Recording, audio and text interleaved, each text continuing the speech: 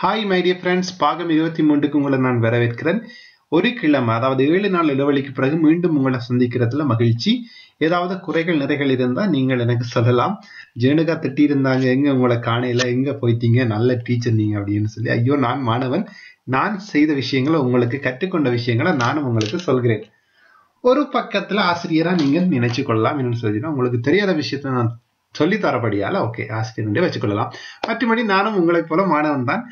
சேர்ந்து படிக்கலாம். மீதி தொண்ணூறு நாட்கள்ல கிட்டத்தட்ட நாங்கள் ஏற்கனவே ஒரு பதினைந்து இருபது நாட்களை கடந்துட்டோம். இன்றைய நாளில் இருந்து இருபத்தி நாலாவது பாகம் இருபத்தி மூன்றாவது பாகம் ஏற்கனவே நான் வெளியிட்டிருக்கேன் அப்படின்ற அப்படின்னு நினைக்கிறேன். இருந்தாலும் நோ ப்ராப்ளம் இப்போ வந்து இந்த வீடியோல நாங்கள் என்ன பார்க்க போறோம் அப்படின்னு சொல்லி சொன்னா முக்கியமா உங்களுக்கு இந்த ஃபில் இன் த ஃபோம் அப்படின்னு சொல்லி ஆங்கிலத்தில் படிப்போமே அந்த காலத்தில். அப்படியான ஒரு விஷயம் தான் அதாவது விண்ணப்ப படிவங்களை பூர்த்தி செய்தல் அப்படின்னு கூட தமிழ்ல சொல்லலாம். அதாவது மொதுலோ அப்படின்னு சொல்லி சொல்லுவாங்க ஓகே மொதுலோ இங்க பாருங்க மொதுலோ அப்படின்னு சொல்றது ஃபோம்ஸ் ஓகே மொதுலோ மொதுலோ ஓகே கொம்பிலாரே இல் மொதுலோ அப்படின்னு சொல்லுவாங்க ஓகே அதாவது கொம்பிலாரே அப்படின்னு சொல்லி சொன்னா ஃபில் பண்றது கொம்பிலாரே பண்றது அப்படின்னு அர்த்தம் ஓகே கொம்பிலாரே. அடுத்த வீடியோல நான் இதுல சொல்ற எல்லா வேர்ட்ஸையுமே தனித்தனி ஸ்லைட்ல உங்களுக்கு சொல்லுவேன். ஸோ விலங்க இல்லை அப்படின்னு சொல்லலாம் நீங்க ஒரே பண்ண வேணாம். இந்த மேது மே மேல இருக்கிற விஷயங்களை எல்லாம் விட்டுருங்க ஓகே நான் இதுல உங்களுக்கு தேவையான விஷயங்களை மட்டும்தான் இதுல சொல்ல போறேன் ஓகே முதலாவது மார்க்கா த பொல்லோ அப்படின்னு சொல்லி என்ன அர்த்தம்? மார்க்கதா பொல்லோ அப்படின்னு சொல்லி சொன்னா முத்திரை okay devi comprare un, una marca da bollo di 14 euro 62 centesimi. Sorry என்ற குரல் கொஞ்சம் அடைச்சு போயிருக்குது எனிகம் மார்க்கா த பொல்லோ அப்படின்னு சொல்லி சொன்னா முத்திரை அப்படின்னு அர்த்தம் ஓகே அடுத்த செக்ஷனுக்கு போகலாம் செக்ஷியோன ஊனோ செக்ஷன்ன்றது வந்து தமிழ்ல பகுதி அப்படின்னு நீங்க சொல்லலாம் செக்ஷன் இங்கிலீஷ்ல செக் செக்ஸியோனி ஓகே செக்சியோனின்னு சொல்லிச்சுன்னா செக்ஷன் ஓகே தாத்தி தெல ரிக்கியஸ்தா ஓகே தாத்தி என்றது தரவு அப்படின்னு சொல்லி இத்தாலியில அர்த்தம் ஓகே இ தாத்தி அப்படின்னு சொல்லிச்சுன்னா தரவுகள் ஓகே லா தாத்தா அப்படின்டா தாத்தான்னு சொல்லி சொன்னா அது திகதி ஓகே தாத்தின்னு தான் சொல்லுவாங்க ஓகே தரவுகள் ஓகே தாத்தி தெல ரிக்கியஸ்தா அப்படின்றா அதாவது கேட்கப்படுகிற அதாவது ரெக்கார்ட் பண்ணப்படுகிற அதாவது வே- உங்கள்ட்ட கோரப்படுகிற தரவுகள் அப்படின்னு சொல்லி அர்த்தம் ஓகே தாத்தி ரிக்கேஸ் அதெல்லாம் உங்களுக்கு தேவையில்லை. ஆக்சுவலா நீங்க தெரிஞ்சு கொள்ள வேண்டிய முக்கியமான முதலாவது விஷயம் உங்களுடைய முதற் பெயர். அதாவது கொஞ்ஞோமே அப்படின்னு சொல்லி இத்தாலியில சொல்லுவாங்க. இந்த ஞோ அண்டு நீங்கள் உத்தரிக்கணும் இது கொஞ்ஞோமே ஓகே கொஞ்ஞோமே அப்படின்றது ஃபர்ஸ்ட் நேம் ஆக்சுவலா ஸ்ரீலங்கால தமிழர்கள் எங்களுக்கு கொஞ்ஞோமே இல்லை அப்படின்னு கூட சொல்லலாம். எங்களுக்கு கொஞ்சமே பாவிக்கிற வழக்கம் இல்லை. ஆனா சிங்கள மக்கள்ல வந்து அந்த வழக்கம் இருக்கு. உதாரணத்துக்கு பெர்னாண்டோ ராஜபக்ஷ அப்படின்றதெல்லாம் வந்து ஒரு கொஞ்சம் ஓகே தமிழ்ல கொஞ்சோமே வழக்கு இருக்கான்னு எனக்கு தெரியல. ஆக்சுவலா இல்லை. நாங்கள் எங்களுடைய தந்தையினுடைய பேரையே பாவிக்கிறபடியால் பாவிக்கிறபடியால கொஞ்சோமே என்ற வழக்கு எங்கள்கிட்ட இல்லை. இருந்தாலும் இந்த குழப்பத்துல நிறைய பேரு குழப்பங்கள் இருக்கு இதுல ஸோ ஃபர்ஸ்ட் நேம்ன்றது நாங்க பொதுவா அப்பான்ற பேரையே கொடுத்துருவோம் ஓகே இங்க வந்து ஃபர்ஸ்ட் நேம் கொஞ்சோமே அப்படின்னு சொல்லி சொன்னால் அப்பாவினுடைய முழு பெயர். ஓகே முழு என்ன சொல்லி அப்பப்பா என்ற பேர்ல இன்சி தெரியல அப்பா என்ற பேர் மட்டும் ஓகே அடுத்தது நோமே. நோமே என்று சொல்லி சொன்னா உங்களுடைய பேர் ஓகே நோமே கொஞ்சோமே இப்ப பாருங்க அதை வந்து எல்லா இடமே கேட்பாங்க. இதுல பாருங்க கொஞ்சோமே நோமே. இதுல பாருங்க இது ஒரு நல்ல ஒரு மொடியூல் ஒன்று எனக்கு கிடைச்சது. இந்த முதலோ வந்து கொஞ்சம் ஈஸியா இங்கிலீஷ்லயும் இருக்குது. ஸோ கொஞ்சோமே அப்படின்னு சொல்லி சொன்னா முதல் பெயர். நோமே என்று சொல்லி சொன்னா உங்களுடைய பெயர். முதற் பேர் தமிழ்ல அதுல குழப்பங்கள் இருக்கலாம். தந்தையினுடைய பேர் அப்படின்னு வச்சுக்கொள்ளுங்க. ஓகே கொஞ்சமேன்னு சொல்லி சொன்னால் எங்கட வழக்குக்கு.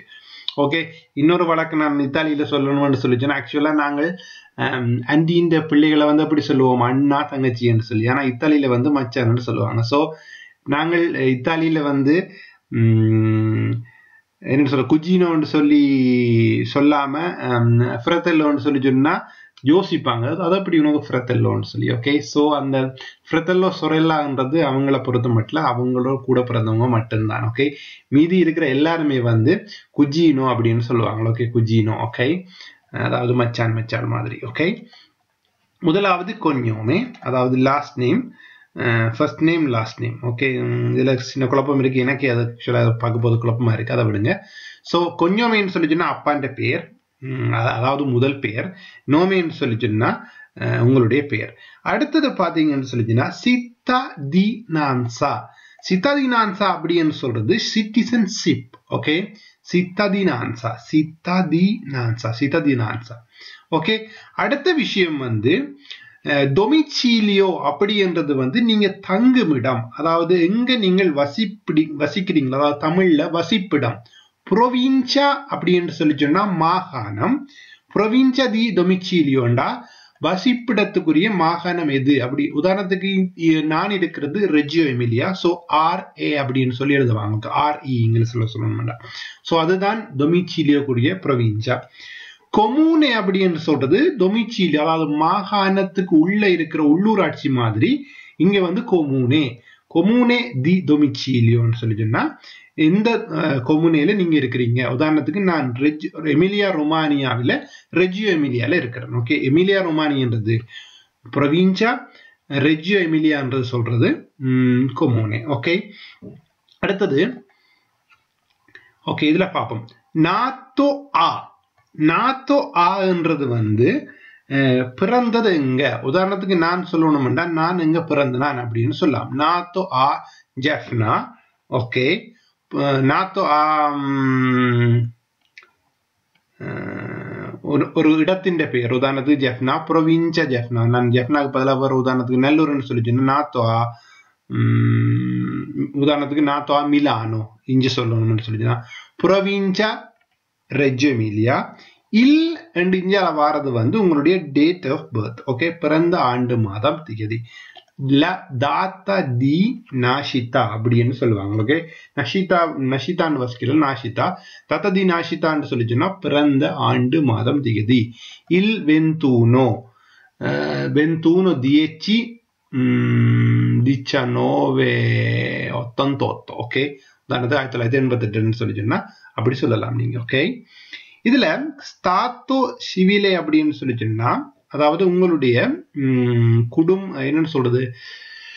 நீங்கள் கல்யாணம் கட்டிட்டீங்களா? இல்லையா? அதாவது டைவர்ஸ் பண்ணிருக்கீங்களா? இல்லாட்டி செப்பராத்தோவா இல்லாட்டி விதவையா? அல்லது தனிநபரா? அப்படியான விஷயங்கள் தான் தாத்தோ சிவிலே ஓகே இல்ல இதை வந்து நான் தனியா உங்களுக்கு எக்ஸ்ட்ரா ஸ்பெஷலா சொல்லி தரேன் ஓகே செப்பராத்தோன்னு சொன்னால் பிரிக்கப்பட்டிருக்கிறீங்க டிவோர்சியாத்தோ வெதோவோ ஓகே அப்படின்னு சொல்லி கணக்கு இருக்கு ஓகே கொனியுகாத்தோ அப்படின்னு சொல்லிலாம் இருக்கு ஓகே அடுத்தது பார்த்தீங்கன்னு சொல்லி சொன்னா இது வந்து அதே விஷயம்தான் அப்பாவுக்குரிய இதுல வித்தியாசமாக இருக்கு இது அப்பாவுக்குரியது அம்மாவுக்குரியது. என்னடா ஐ திங்க் இது வந்து ஒரு dichiarazione certificata notario richiesta di rilascio rinnovo passport okay இது வந்து பாஸ்போர்ட்டை வந்து ரினியூ ரினியூ பண்ணுறதுக்குரிய ஒரு டாக்குமெண்ட் அதனால அப்பாண்ட அம்மாண்ட எல்லாம் கேட்குறாங்க ஸோ அதை பற்றி நீங்கள் ஒரி பண்ண வேண்டாம் அடுத்தது இதில் முக்கியமாக ரெசிடென்சி அதை பார்க்கலாம். ரெசிடென்ஸ்ன்றது வந்து உங்களுக்கு இங்கிலீஷ் தெரியும். ரெசிடென்சி வியா அப்படின்னு சொல்லி சொன்னால் எந்த வீதி அப்படின்னு அர்த்தம். ஓகே வியா கார்லோ சொல்லி சொன்னால் Via Carlo okay Via Emilia சித்தான்னு சொன்னால் உங்களுக்கு தெரியும் சித்தா உதாரணத்துக்கு ரெஜ்ஜெமிலியா ஸ்டாத்தோ இத்தாலியா ஓகே ஸ்டாத்தோன்றது வந்து எந்த இடம் எந்த பிளேஸ் எந்த கண்ட்ரி என்ற அர்த்தம் ஓகே ஸ்டாத்தோன்னு சொல்லிச்சுன்னா ஸ்தாத்தோன்னு சொல்லிச்சுன்னா இஞ்சி இத்தாலியா இல்லாட்டி ஸ்ரீலங்கா சிலோன்னு வரும் ஓகே இலங்கையண்டா இலங்கைன்னு சொல்லிச்சுன்னா சிலோன்னு வரும் அதை விட டெலிஃபோனோ அப்படின்னு சொல்லிச்சுன்னா உங்களுக்கு தெரியும் அது ஃபோன் நம்பர் ஃபேக்ஸ்ன்னு சொல்லிச்சுன்னா ஃபேக்ஸ் சில வேளை வித்தியாசமாக வேற வேற விஷயங்களை கேட்கலாம் இதில் லோகோ தாத்தா தி நாஷிதா அப்படின்னு சொல்லிச்சுன்னா நீங்கள் பிறந்த இடம் எது? அதாவது நீங்கள் the place of birth okay logo ஏ தாத்ததி ரெண்டையும் கேட்டா ரெண்டையும் எழுதலாம். ஓகே ஆல்தெட்ஸா அப்படின்றது வந்து உங்களுடைய உயரம். அடுத்தது ஃபைனலாக இது தேர்ட்டி செகண்ட்ஸ் இருக்கு. அதை மட்டும் நான் சொல்லிட்டு அடுத்த வீடியோவில் மீறி சொல்லித்தாரன் ஃபீர்மா அப்படின்னு சொல்லி சொன்னா சிக்னேச்சர் அதாவது கையொப்பம். ஃபீர்மா தெல்ல மாதிரின்னு சொல்லி சொன்னா அம்மாவினுடைய கையொப்பம். ஃபீர்மா தெல் பாதரை அப்படின்னு சொல்லி சொன்னா அப்பாவினுடைய கையொப்பம். ஆனா உங்களோட முடிவுல வந்து உங்களோட முடல்ல வந்து ஃபீர்மான்னு மட்டும்தான் வரும். ஸோ உங்களோட பேரை போட்டுட்டு ஃபீர்மா வழினா சரி. மற்றது தாத்தான்னு சொல்லி சொன்னா திகதி ஜிஜிஎண்டா ஜோர்னி எம்எம்எண்டா மேசி அ ஆண்டா அன்னோ. ஓகே ஜோர்னி மேசி அன்னோ. ஓகே அடுத்த வீடியோல சந்திப்போம். நன்றி.